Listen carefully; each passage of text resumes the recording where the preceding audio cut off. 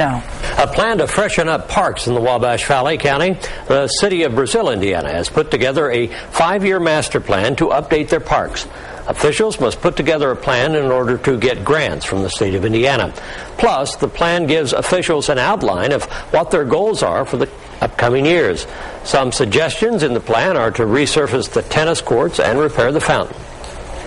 And with the economy the way it is, it's so important that we have these grants available to us.